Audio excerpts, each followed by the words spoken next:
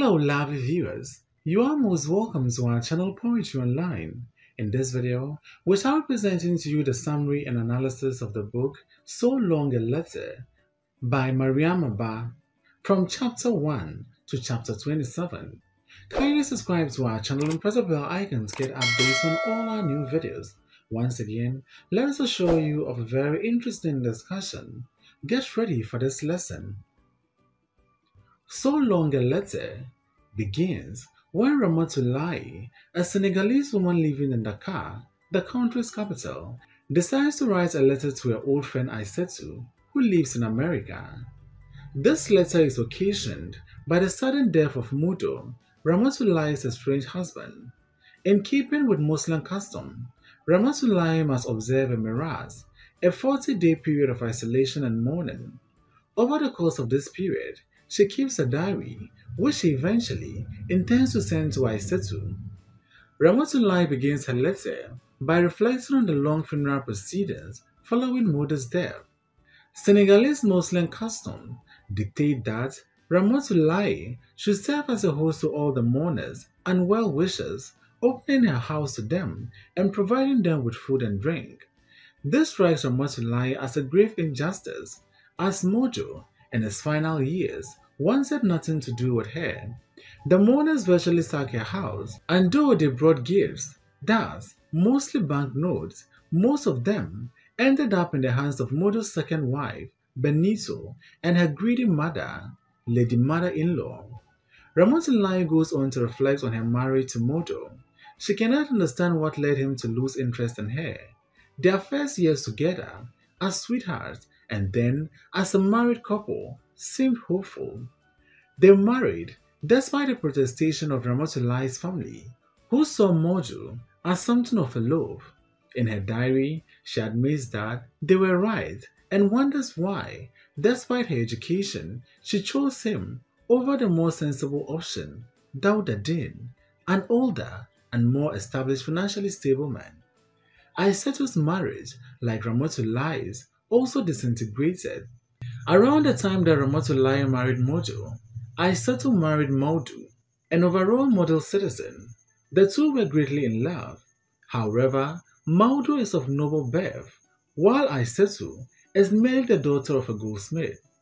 Mawdo's family, in particular his mother, Auntie Nabou, objected to that union. In an effort to undermine the marriage, Auntie Nabou traveled to her ancestral home and convinced her brother to relinquish one of his daughters Thus, Auntie Nabou's namesake, to take care of her. Auntie Nabou proceeded to raise and train young Nabou. Then, when the girl was of proper age, Auntie Nabou begged Mawdo to take young Nabou as a second wife. Mawdo, fearing that his mother would become distressed and fall ill if he declined, agreed to marry young Nabou. He assured Aissatou that he did not love young Nabou, but he also had children with her. Aissatou could not accept this and decided to divorce him. She focused on her education, received a degree in diplomacy, and moved to America to work in the Senegalese embassy. Meanwhile, Ramos Ramatoulaye was enduring her own marital misfortune. Her daughter, Daba, befriended a girl named Binetou. Binetou spoke often of a sugar daddy, an older man who brought her clothing. After a while, Binetou's family began to pressure her into leaving her education behind and marrying the man for his money. Binetou reluctantly agreed. Ramatoulaye was disappointed by this news, but not otherwise suspicious. Some days later, Mawdo, Modou's brother Tamsir, and a local imam appeared at Ramatoulaye's house. Together, they informed her that Binetou's sugar daddy was in fact Ramatoulaye's husband Modou and that Binetou would soon be her co-wife. Ramatoulaye was left heartbroken and effectively abandoned as Modou began a new life with Binetou. Despite this, she decided to remain married to Modou, accepting a fate as if it was a duty to fulfill. Her children protested, but she remained steadfast. Now, Modou has died, and Ramatoulaye must navigate a strange situation of being forced to mourn a man who abandoned her. As her mirasse draws to a close, she is approached by Tamsir, who announces that he will marry her. Ramatoulaye is deeply offended by his grass proposal and tells him off in front of Mawdo, an imam. Later, Daouda proposes to her. Though he does so considerably more tact than Tamsir, Ramatoulaye rejects him as well. She resolves to focus her efforts on raising her children. Thanks to the increasingly prevalent forces of modernity, Ramatoulaye's adolescent children become exposed to a host of new dangers, dangers from which she feels they must be protected from. While playing baseball in the street, two of Ramatoulaye's sons are run over and injured by a wayward motorcycle. She catches three of her daughters smoking. Aissatou's namesake gets pregnant out of wedlock. Ramatoulaye responds to all this crisis with strength, equanimity, and poise. Ramatoulaye concludes her long letter by anticipating Aissatou's impending return to Senegal. She looks forward to seeing her friend and trusts that, despite the physical changes they have endured, their friendship will still be strong. Chapter 1 Ramatoulaye, the narrator, living in Dakar, Senegal, addresses a friend Aissatou, who lives far away in America. Ramatoulaye writes that she has received Aissatou's letter and that, by way of reply, she has decided to write a diary. This diary, she decides, will serve as a prop into her distress, though she doesn't yet reveal what has caused this distress. First, she recalls her childhood at Aissatou, listing off a series of discrete images the two of them walking along the same road to Quranic school, and the two of them burying their baby teeth in the same hole. The immediate intimacy of Ramatoulaye's address establishes how close these two friends are and how close they remain despite the physical distance between them. At first, Ramatoulaye's promise to keep a diary that will also serve as a letter to Aissatou seems like a contradiction.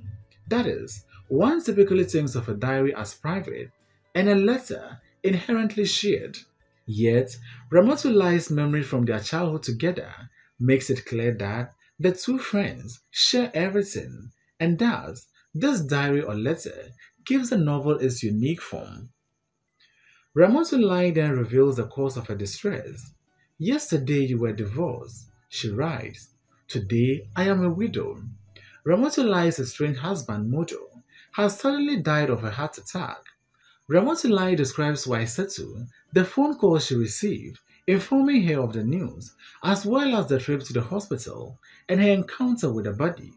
She explains that Mawdo, Modou's doctor friend and Aissatou's ex-husband, was called to the scene but arrived too late. All his attempts to resuscitate Modou were for naught, and describes his sadness with a certain tenderness. Distraught and confused, Ramatoulaye's consolation in remembered verses of the Quran. Although Ramatoulaye is estranged from Modou, she receives the news of his death with a solemnity, awe, and devotion that her faith demands, and with the grief of a loving spouse. Similarly, she expressed her tenderness toward Modou without restraint, despite his estrangement from the letter's addressee, her friend Aissatou. For Ramatoulaye, Death is a sacred matter, the gravity of which overcomes, if only for a moment, feelings of animosity or remorse. Here, we also see the strength of Ramatoulaye's Islamic faith and the way that it informs her life, emotions, and decision making on almost every level. Chapter 2 The day after Modou's death, droves of mourners appear at Ramatoulaye's house to pay their respects. Modou's close relatives appear as well, and the women among them help to make the funeral preparations, bringing incense, holy water, white muslin, and dark wrappers to the hospital in order to dress the body. In accordance with custom, Modou's second wife, Binetou, is installed in Ramatoulaye's house to receive guests alongside her. Ramatoulaye is bothered by her presence, but ultimately feels pity towards the girl the male mourners form a funeral procession and accompany the body to its final resting place, while the women stay behind. Modou's sister ritually undo Ramatoulaye and Binetou's hair. Ramatoulaye's description of the funeral preparation demonstrates just how much custom and tradition saturates Senegalese culture and experience. Thus, further, it demonstrates that Senegalese Muslim rituals typically delineate distinct complementary roles for men and women. Ramatoulaye's complex feeling towards Binetou, her co-wife, include both indignation at having to associate with her husband's second wife and a kind of maternal feeling. After all, Binetou is young enough to be Ramatoulaye's daughter. Custom dictates that Ramatoulaye serves as a hospitable host to mother's family and to a co-wife's family, providing them with food and lodging and generally accommodating their every need. Ramatoulaye dreads this responsibility, most of all because it calls on her to surrender her personality and dignity in the interest of serving her estranged relatives. Mother's sister showers praises and words of consolation over Ramatoulaye and Binetou, but it bothers Ramatoulaye that they give equal consideration to both. That is, Binetou was married to Modou for only five years, while Ramatoulaye was married to him for 30. The men returned from the funeral procession and offered condolence to the woman in a highly ritualized fashion. In order to satisfy the demands of custom, Ramatoulaye must essentially erase herself, render herself transparent, and reduce herself to an object in the service of men. The fact that she and Binetou received the same amount of attention only underlines the fact that Ramatoulaye's role as the aggrieved wife has in the eyes of the other mourners overwhelmed any and all of her individual characteristics as a human being. Chapter 3 The funeral ceremony continues into its third day. Now, all sort of people come out of the woodwork to pay their respect and much of the hospitality of their grief. Ramatoulaye's house is essentially trashed by the crowd. The men and women occupy different sides of the parlor. The men occasionally shout over at the women to chastise them for gossiping loudly or not showing the solemnity that the occasion demands. Many of the guests present money to Ramatoulaye and Simodo's family. Ramatoulaye explains that this customary gifts once consisted of unquantifiable goods such as livestock and millet, but now everyone simply presents their grief with banknotes and tries to one up everyone else by giving the most cash. The proceeds are divided up among Ramatoulaye, Binetou and the family, and Modou's family. Binetou's mother and Modou's sister gets the lion's share, leaving Ramatoulaye destitute in comparison. Ramatoulaye experiences firsthand the marked disconnect between the premise of dignity on which a funeral ritual is founded and the indignity that a ritual actually can create. But while she's skeptical of the traditions she's expected to follow, she's also nostalgic for traditions that have been abandoned or otherwise corrupted. The exchange of cash in lieu of actual gifts strikes her as somewhat appalling. The unequal apportioning of gifts money between her and a family in-law only underlines the illogic of custom for custom's sake and the way even tradition of generosity and selfishness can be easily twisted. Finally, Binetou and the relatives clear out, leaving destruction in their wake. Ramatoulaye's floors are blackened and her walls are stained with oil, and trash litters the house. In their absence, Ramatoulaye now must confront her mirasse, a period of four months and ten days that she must spend in solitude and mourning, in accordance with custom. She is apprehensive, but faces her duty and resolve, writing that her heart concurs to the demands of religion. Despite her clear and outspoken discomforts with many of the demands of her religion and culture, Ramatoulaye is determined to meet them head on and operate within them rather than against them. This is one of the first glimpses of Ramatoulaye's particular brand of stoicism and quiet courage. Chapter 4 The Mirasse also demands that Ramatoulaye and family in-law meet to strip Modou and reveal the secret he kept during his lifetime. Mostly, this involves laying bare his financial debt. It is then revealed that the Czech villa in which Modou had been living with Binetou and Binetou's mother was acquired on a bank loan originally granted to both Modou and Ramatoulaye. Even though the deed has Modou's name on it, Ramatoulaye essentially helped pay for the house. However, Modou's lavish treatment of Binetou and her mother, thus, he paid for their pilgrimage to Mecca, bought them cars, and, to Ramatoulaye's horror, provided Binetou with a monthly allowance after pulling her out of school, has led the two to think that they are guaranteed the house. It seems also that they have begun fraudulently removing furniture from the house even before the estate is settled. It becomes clear that Modou has used his privileged position to exploit Ramatoulaye's financial independence. His family intends to prolong the exploitation into the future, and it doesn't seem like there's much Ramatoulaye can do about it. Ramatoulaye's horror at Binetou's removal from school establishes Ramatoulaye as someone who cares deeply about education, particularly for young women, and once more illustrate her conflicted maternal feeling towards her young co-wife. Chapter 5 Alone again with her thoughts, Ramatoulaye becomes distressed. She wonders what could have possibly caused Modou to abandon her, not to mention their 12 children, in order to marry the 17-year-old Binetou. Ramatoulaye compares her fate to that of the blind, disabled, and destitute, asking how those in worse situations than hers find strength, moral fortitude, and even heroism in their disadvantage and distress. Like the blind and the disabled, Ramatoulaye's position of social disadvantage has everything to do with the circumstances of her birth and nothing to do with her character. Her assertion that the blind can still act heroically in quiet ways within the confines of their societal disadvantage reflects her own brand of stoic feminism. Chapter 6 Ramatoulaye recalls meeting Modou for the first time while on a trip to a teacher's training college with Aissatou. Addressing Modou directly, in a second person, she remembers asking him to dance and their ensuing romance, which endured even after Modou went off to study law in France. Modou, she explains, felt homesick and lonely, and the whole time he was there, he wrote to her often. Modou's dissatisfaction in France illustrates a conundrum that then faced the educated in Senegal.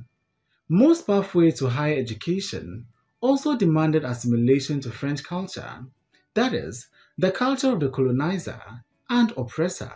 Separately, Ramatoulaye's use of direct address illustrates her continued feeling and intimacy towards Modou even after estrangement and death has separated them. Upon his return to Senegal, Modou and Ramatoulaye prepared to marry. Modou also introduced his friend, Mawdo, to Aissatou. Ramatoulaye's mother was skeptical of her daughter's choice. However, Ramatoulaye now understands her skepticism.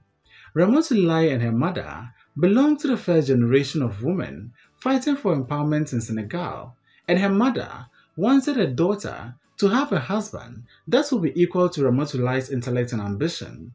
It seems that by marrying Modou, an idler, Ramatoulaye surrendered her freedom to a man who was beneath her. Now, she has nothing to show for it. Ramatoulaye's disagreement with her mother raises a question that vexes the entire novel. Are traditional family life, religious family, and motherhood fundamentally at odds with female empowerment? Does a woman surrender essential freedoms just by choosing to marry or just by marrying the wrong kind of person. Chapter 7 Ramatoulaye remembers with fondness Aissatou's French, which is to say, white school teacher.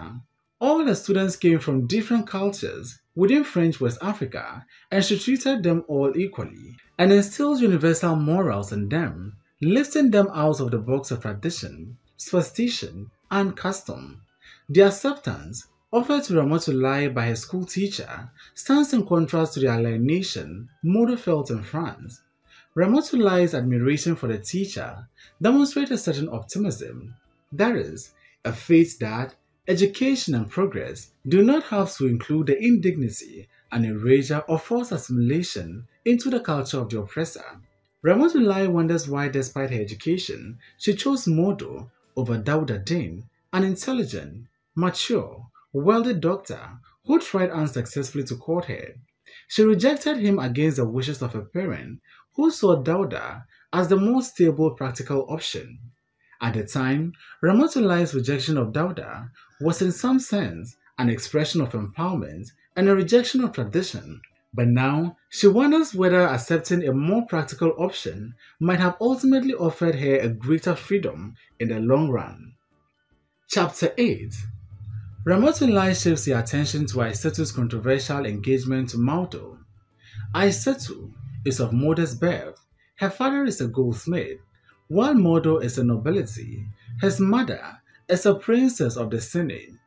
In the eyes of tradition, it was a total mismatch, and at the time of the engagement, everyone in the town gossiped angrily about the scandal.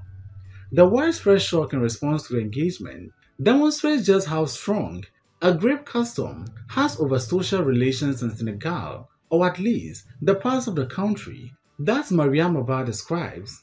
Ramatoulaye uses Aissatou's father's profession to discuss some of the broader social changes happening in Senegal. Aissatou's younger brother would not take up their father's profession, pursuing a Western education instead.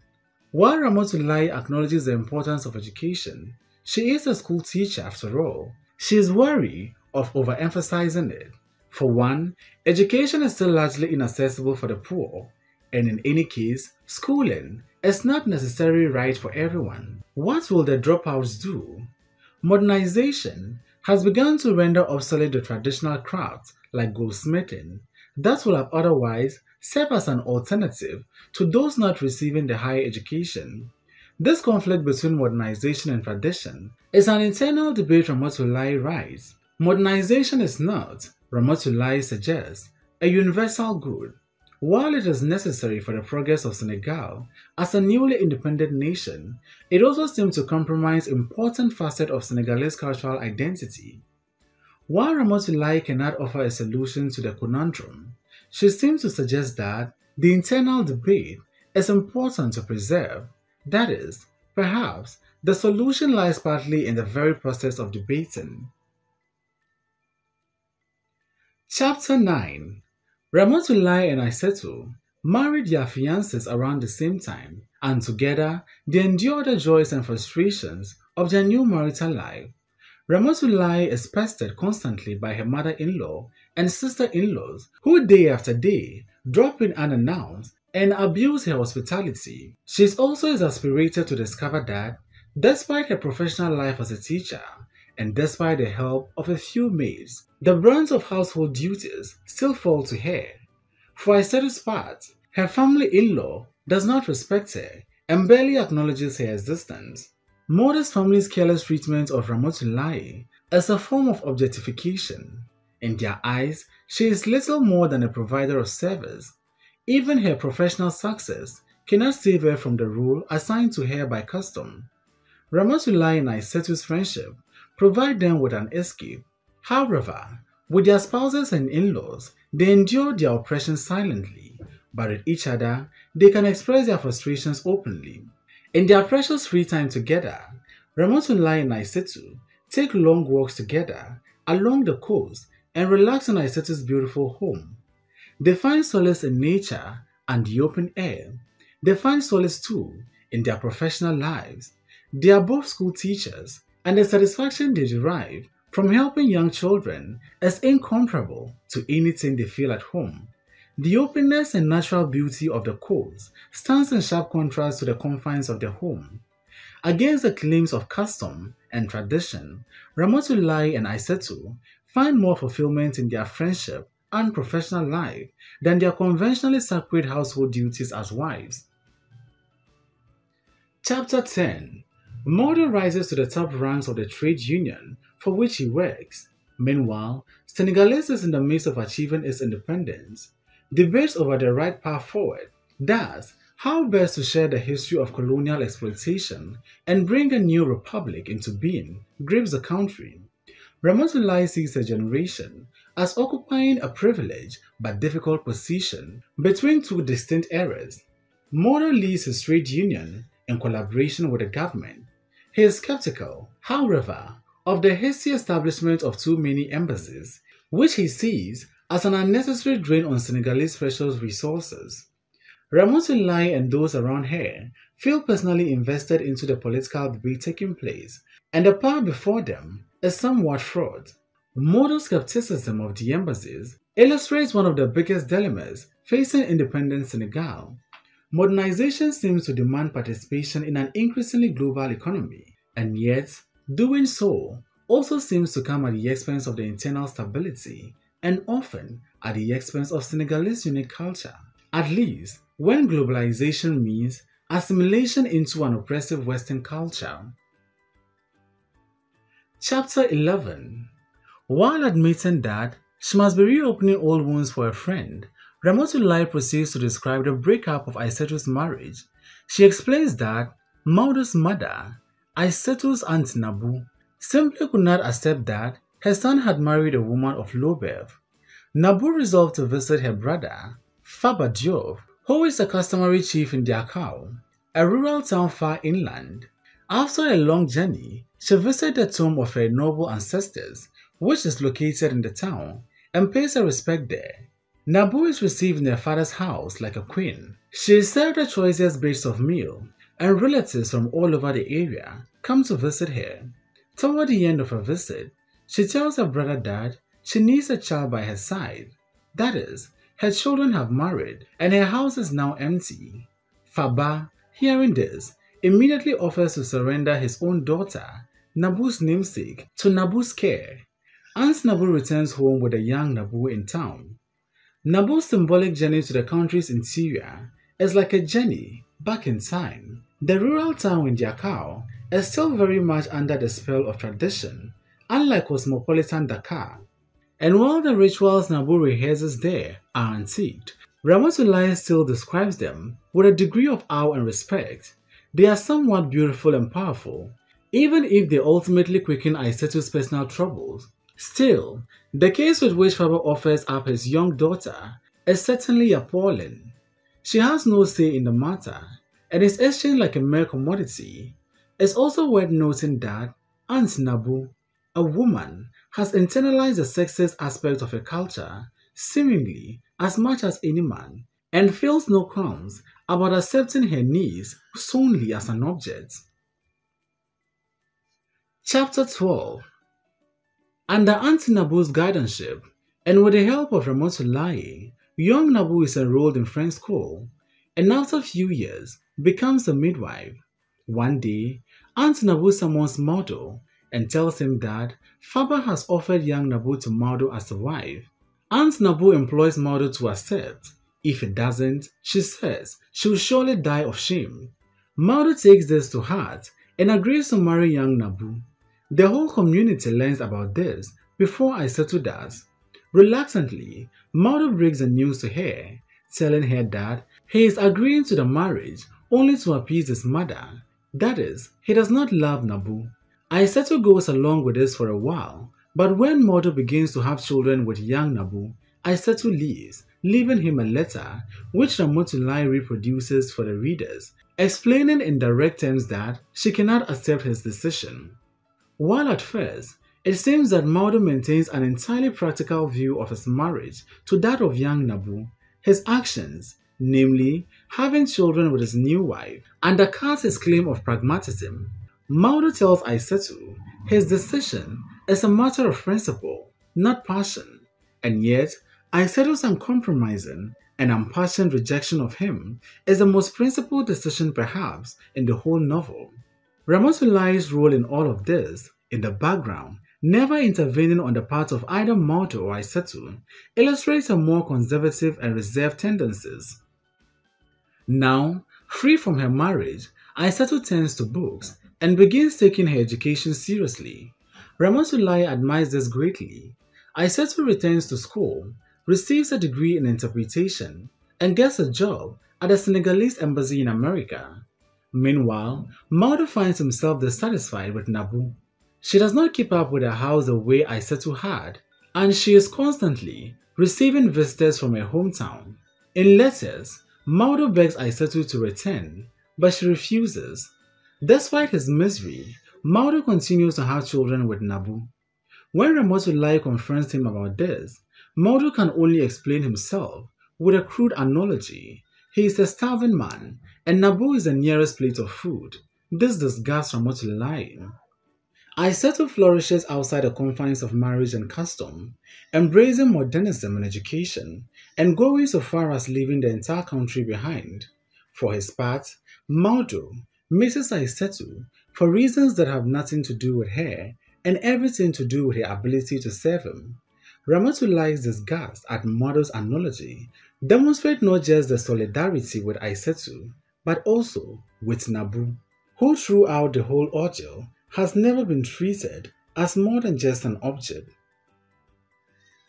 Chapter 13 Ramatoulaye now decides to recount her own marital misfortune. Her teenage daughter, Daba, begins to spend a lot of time with her friend Binetou. Together, they are preparing for the standardized test. Mother often offers to drive Binetou home after the studying session. Binetou wears expensive dresses which she explains have been paid for by a sugar daddy.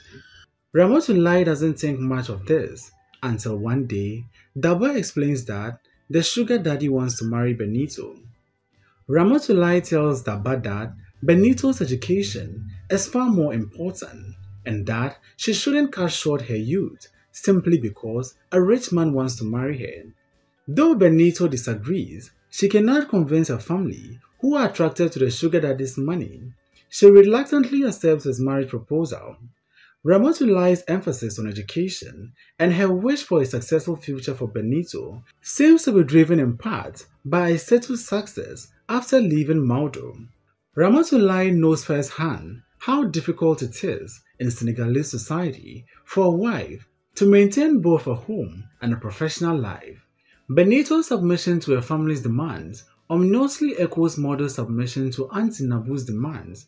It seems that the older generation often forces their family members to continue within the confines of strict or outmoded customs. On the day that Binetou is to be married to a sugar daddy, Modou's brother, Tamsir, Mawdo, and a local imam appear at Ramatoulaye's house. Mawdo is nowhere to be seen, after some dawdling and beating around the bush, the three men announce the reason for their visit. Modou, it turns out, is Binetou's sugar daddy, and today he is taking her as a second wife. The men express their support of the marriage, see as a matter of God's will, though Modou, evidently remembering Aissatou's reaction to his own second marriage, seems subdued. Ramatoulaye is, of course, shocked and upset. Suddenly, all of Modou's absence in recent months begin to make sense, yet she maintains her composure, smiling, thanking the men, and offering them something to drink. The formality of the exchange, while supposedly customary, comes off as ridiculous and cowardly, a total breakdown of respectful communication. That is, Modou can't confront his wife himself. Depending on how you look at it, Ramatoulaye's stoicism in the face of the absurd development, is either tragic or empowered. At the very least, it is clear that maintaining her composure and offering this man hospitality is no easy feat. Chapter 14 Daba, who was also kept in the dark about the true identity of Binetou's sugar daddy, is infuriated and employs Ramatoulaye to leave Modou, just like Aissatou left Mawdo.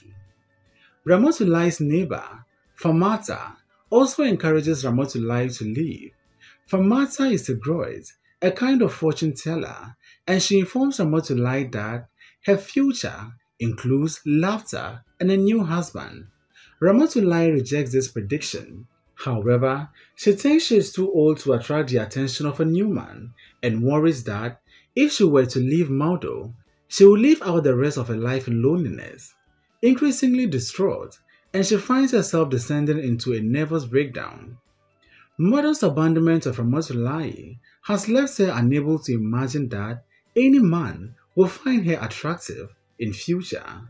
Her steadfast refusal to act on Daba's and Farmata's advice is at once tragic and somewhat impressive. It might be argued that she is asserting a kind of independence, rejecting the idea that she requires a man in her life at all. By way of illustrating her own distress, Ramatoulaye tells the story of her acquaintances. Jacqueline. Jacqueline, a Protestant from Cote d'Ivoire, marries Diack, a friend of Mawdo's. Jacqueline is not used to Senegalese culture. She's treated like an outsider and is shocked when Samba begins chasing after other women. That is the relatively standard behavior of Senegalese husbands. Distressed, she begins experiencing all manners of physical pain, which no doctor can diagnose. She undergoes a host of x rays and invasive tests, but the nature of her illness remains a mystery. That is, until a doctor diagnoses her with depression. The diagnosis alone helps Jacqueline greatly. Now that she knows the source of her illness, she turns her energies inward and begins to overcome her depression.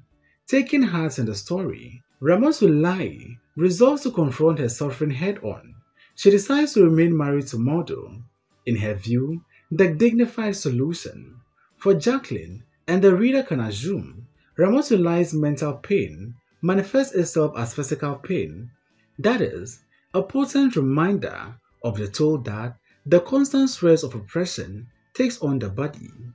The conclusion Ramatoulaye draws from Jacqueline's story is certainly counterintuitive. She seems to suggest that her suffering is more a matter of attitude than circumstance. Whether this conclusion should be applauded is left somewhat ambiguous by Mariama Ba. Separately, Jacqueline's story illustrates a political stability that is often overlooked in the West. Just how diverse African nations and cultures are.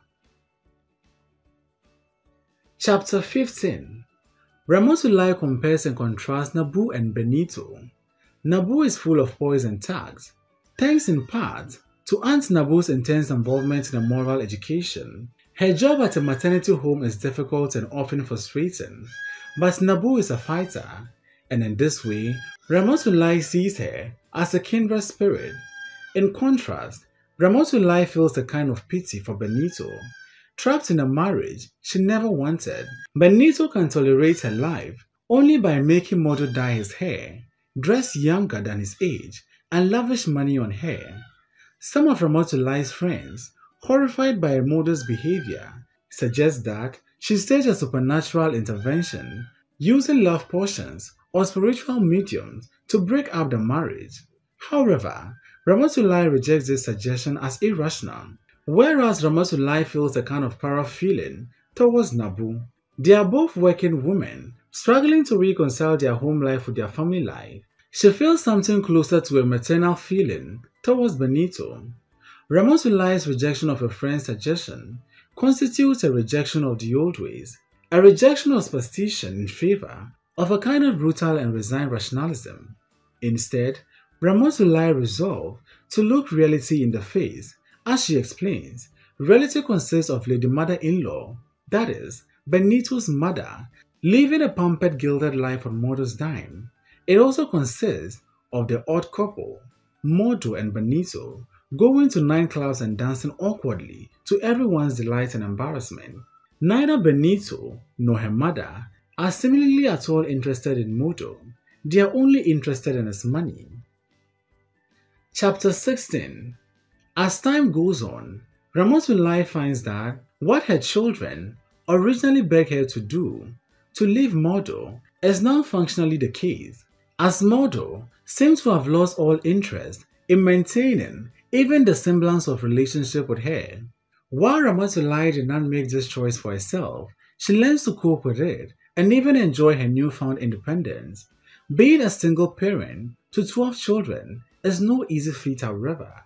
Money is tight, and she must make certain compromises, such as making her children ride public transport, while Binetou and Lady Mother-in-law drive around in fancy new car.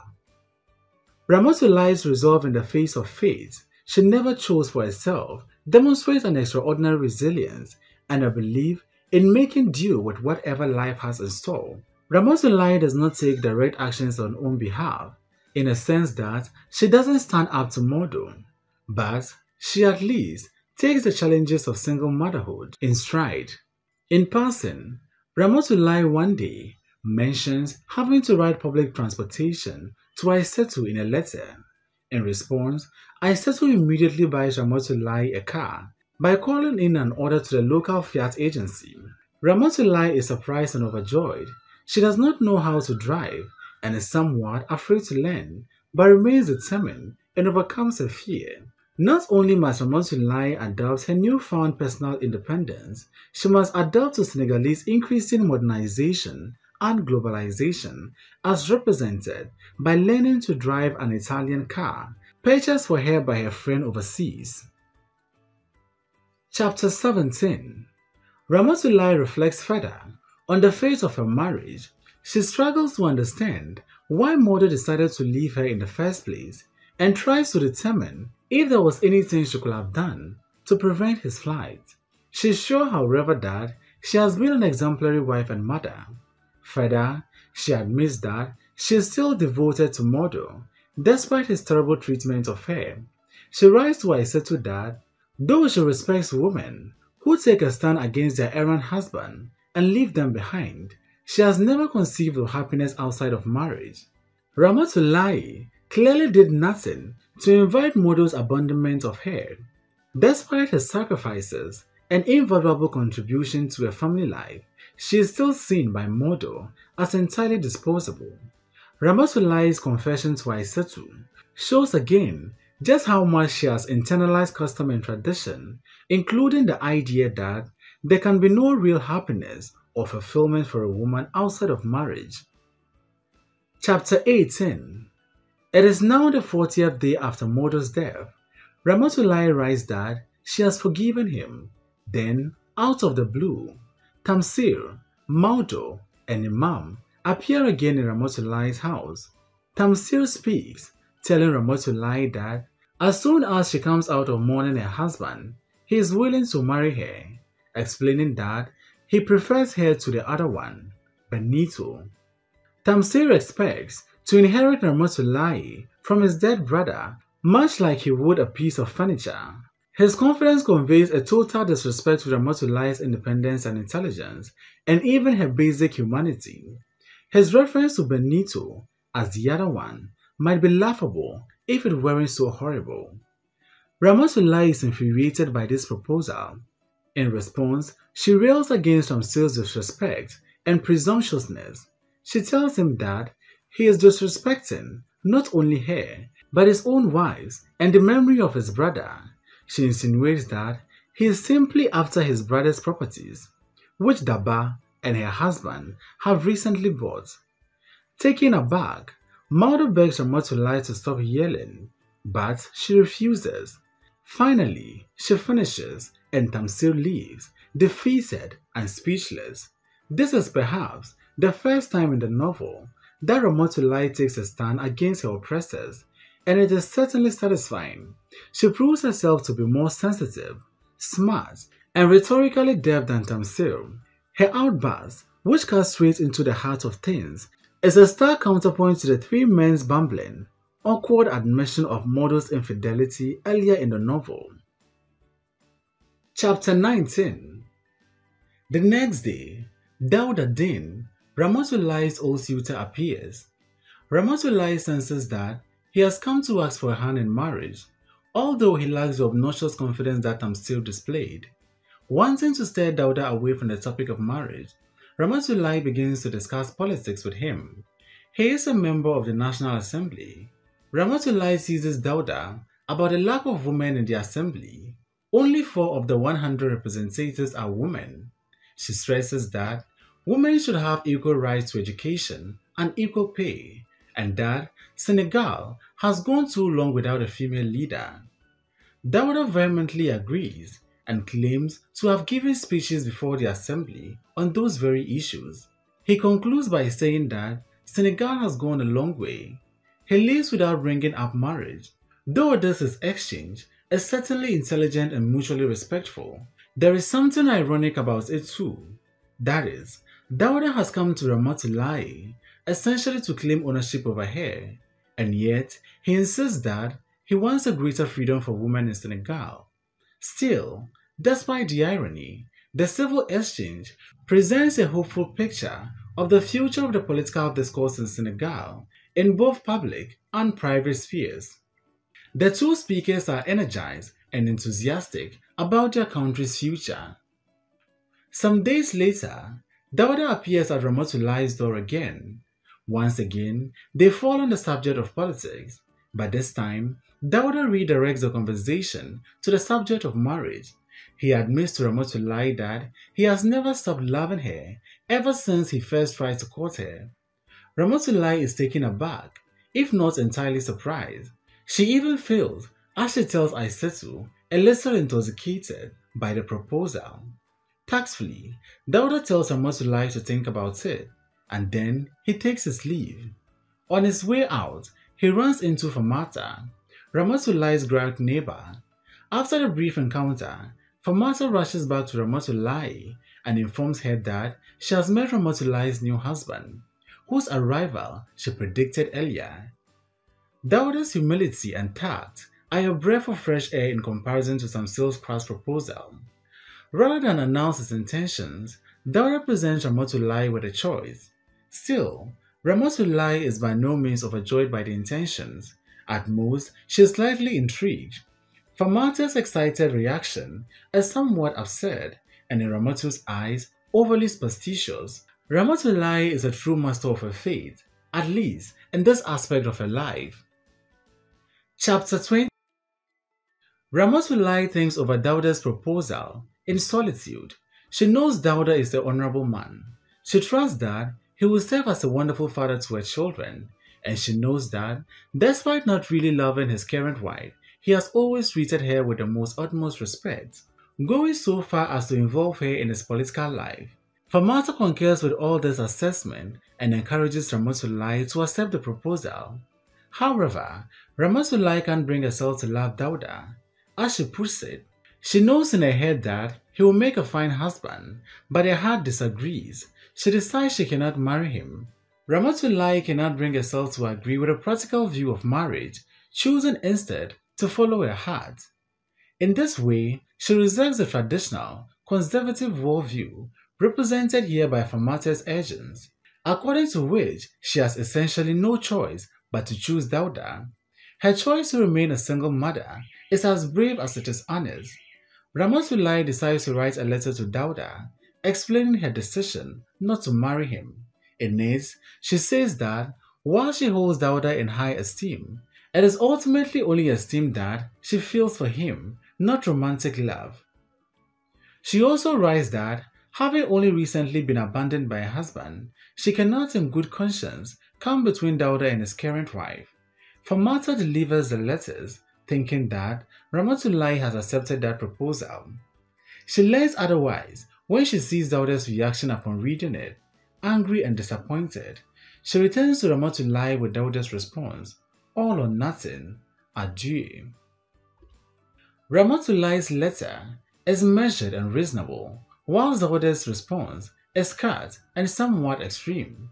Though its extremity, perhaps, originates in personal anguish, it also seems to reveal that Daouda is unable to conceive of Ramatoulaye as a friend and a peer. She is only a potential mate.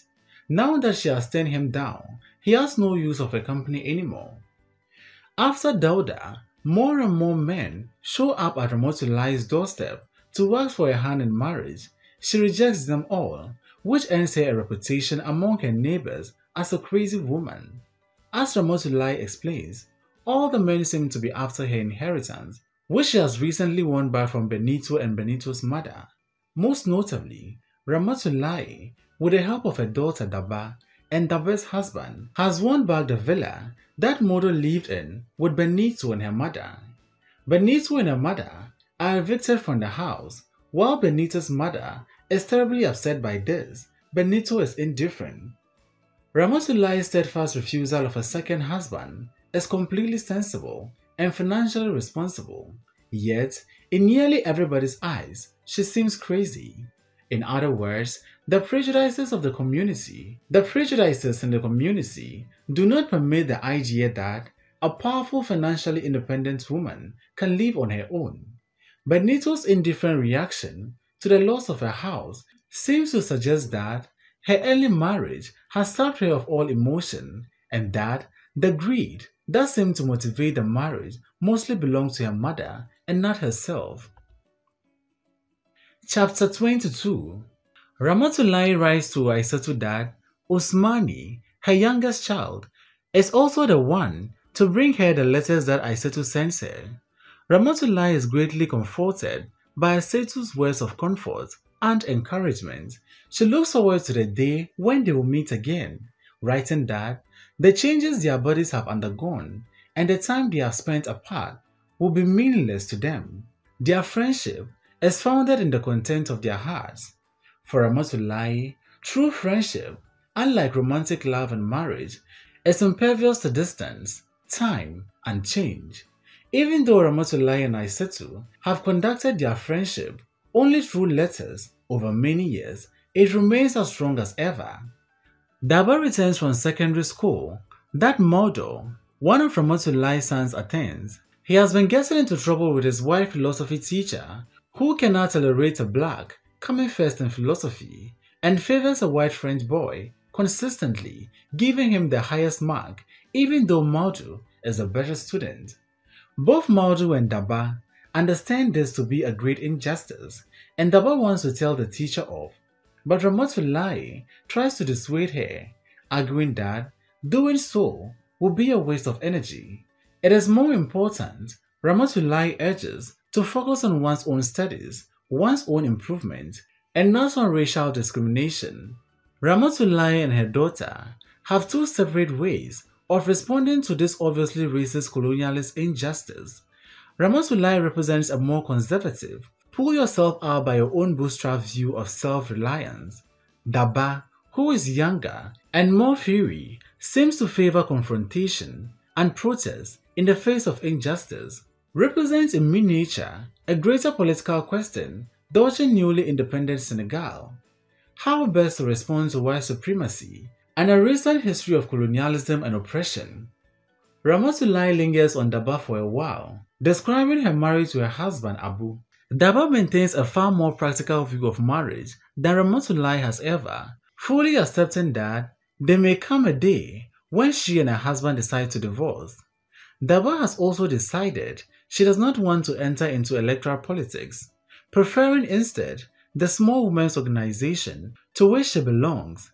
Ramatoulaye is somewhat bewildered by her daughter's decision, but ultimately impressed by her conviction and the clarity of her reasoning. Ramatoulaye closes this section of the letter by describing how her daughter Aissatou, Aissatou's namesake, helps her with raising the younger children, and how Mother Falls helps her when she is sick. Though Daba's new view of marriage differs significantly from Ramatoulaye's, Ramatoulaye is able to understand and ultimately respect her daughter's reasoning. Daba represents a younger, more progressive generation coming into the fore, taking the reign of newly independent Senegal. Ramatoulaye then represents an older generation that is potentially willing to let the new values and cultural norms rather than bitterly clinging to the custom and causing pain for its children. Chapter 23 Ramatoulaye recounts to Aissatou a recent episode in which she woke on three of her daughters, whom she describes as a trio, smoking cigarettes secretly in their room. She is shocked by this and doubly shocked by the bewilderment in the face of her anger. Ramatoulaye wonders whether she has been too liberal as a mother she lets them to go out at night on their own and worries that smoking will lead them into other more dangerous vices. She knows also that her daughters have started wearing trousers, which strikes her as indecent. Despite her worry, however, Ramatoulaye doesn't crack down on her children. Instead, she simply keeps a watch over them, otherwise trusting them to make their own decisions. The trio's behavior suggests that they are abandoning conventional Senegalese Muslim wisdom in favor of a more progressive, European inflected outlook.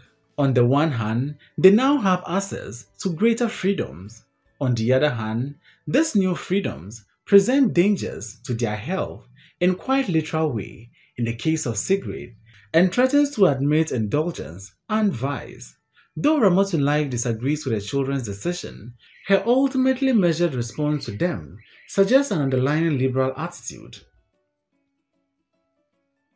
Chapter 24 Not long after, Ramatoulaye is interrupted during her evening prayers when her two sons, Alioune and Malik, come home injured and crying. A group of friends in tow. Malik's arm looked broken. The children explained that while they were playing soccer in the street, a man on a motorcycle ran over a group of them. They bring the motorcyclist, whom they have beaten up, before Ramatoulaye. He apologizes to her, explaining that he did not expect the boys to be playing in the street and failed to stop before hitting them. Her son's surprise, Ramatoulaye takes the side of the motorist, chastising her children and telling them they shouldn't have been playing in the street to begin with. Malik's broken arm is treated by Mawdo at the hospital. The motorcycle, symbolically, comes crashing into the children, just as modernization has come crashing into Senegal with a sudden influx of both freedom and new dangers. Ramatoulaye's decision to take the motorcyclist's side in the dispute further characterizes her as a tough but conscientious mother focused more on educating her children than soothing them in their distress, especially when doing so might compromise their morals or sense of justice. Ramatoulaye now moves to discussing her daughter Aissatou, her friend Aissatou's namesake. Aissatou has become pregnant out of wedlock. Ramatoulaye recounts how she learned of this development. Aissatou had begun to show some sign of pregnancy. She had lost weight, her breasts were swelling, and she was suffering from morning sickness. But Ramatoulaye brushed these signs off as coincidence.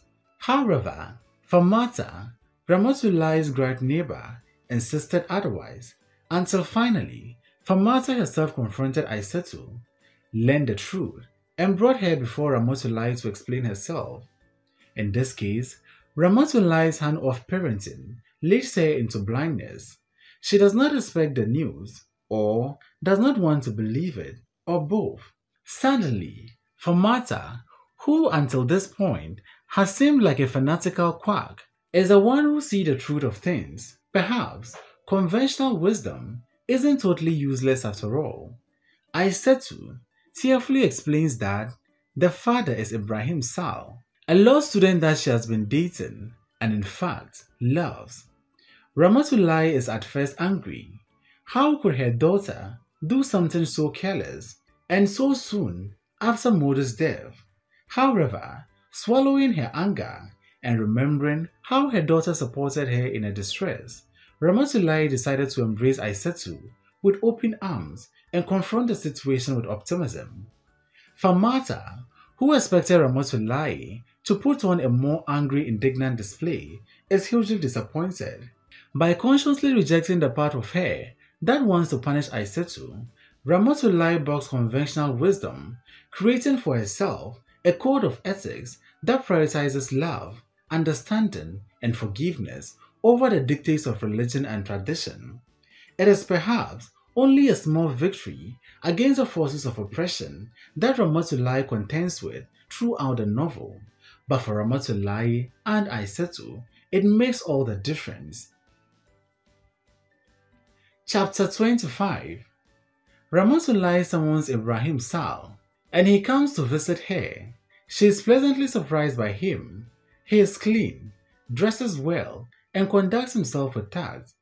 He assures her that he and Aissatou, he and Aissatou II have figured everything out. His parents would take care of the baby until Aissatou and Ibrahima finish their studies. Luckily, the baby is due during the holidays, so Aissatou will be able to hide the pregnancy and avoid expulsion. Ramatoulaye is impressed by all this and adds nothing to the plan. She writes that she feels that Aissatou has entered Ibrahima's care. Ramatoulaye is no longer her daughter's primary guidance. Ibrahima and Aissatou's open dialogue, careful planning, and their love and mutual respect for each other offer a clear counterpoint to Ramatoulaye's and Aissatou's failed marriages. By Senegalese standards, Ibrahima and Aissatou's union is entirely unconventional. even immoral, and yet, in practice, it seems like a far healthier relationship than the others the novel has offered thus far. Their example gives Ramatoulaye hope. Chapter 26 Ibrahima visits Ramatoulaye's house often. He is a role model to Ramatoulaye's young sons, and he encourages Aissatou's namesake in her studies. The trio spares him, and Farmata remains skeptical, but Ramatoulaye comes to admire him greatly. Once again, Ibrahim's conscientious and salacious behavior is a hopeful counterpoint to Modou's abandonment of Ramatoulaye. Spurred by Aissatou II's pregnancy, Ramatoulaye decides to have a conversation with the trio, her younger daughters, about sexual education. She remarks that, in the past, young girls have been taught chastity above all else. However, instead of forbidding sex outright, she channels a more modern outlook and decides to emphasize safe sex above all. In addition, she tries to underline the sublime significance of sex in the hope that her daughters would take it seriously. She delivers her lectures nervously and with some difficulty, but her daughters seem unfazed and even bored by it. Ramatoulaye gets the impression that, to them, she is merely stating the obvious. Times have changed, though Ramatoulaye finds it difficult to adapt to a more modern outlook than she is used to her daughters, simply by virtue of being young, have naturally developed more liberal attitude towards sex than the older generation. If Ramatoulaye's daughters are any indication, the future of Senegal has the potential to be more open, honest, and understanding than ever before. Chapter 27 Aissatou is coming to visit soon, and Ramatoulaye looks forward to her arrival. Ramatoulaye reflects further on the fate of women in Senegalese society. She is heartened by the expansion of their rights and liberties, but remains worried that their hard-fought gains are unstable, certain social restrictions persist, and men still have a monopoly on power. Ramatoulaye insists, however, on her faith in the institution of marriage and what she calls the complementarity of a man and woman. Man and wife are the most basic political unit she argues, as nations are made up of families. With regards to the status of women in society, Ramatoulaye is hopeful. She knows that societal advances for women are always fragile and difficult to maintain. At the same time, her belief in the institution of marriage shows her more conservative streak and demonstrates her belief that family life and political life are not distinct, mutually exclusive pursuits. In fact, they are inseparable. Ramatoulaye wonders if Aissatou will appear changed upon returning. She guesses that Aissatou will be wearing a suit, not traditional clothing, and will ask her to eat at a table with utensils in the Western style. Ramatoulaye closes by saying that she retains hope for her future and that she will go out in search of happiness. Ramatoulaye's conjecture about Aissatou, though light-hearted, expresses an anxiety that modernization might come to erase Senegalese culture. Tellingly, the novel does not describe the actual reunion of the two friends. That is, it only exists as an address, a kind of monologue, and any response Aissatou might offer exists only beyond the page. Thanks for watching this video. Please don't forget to like, comment, subscribe, and share this video.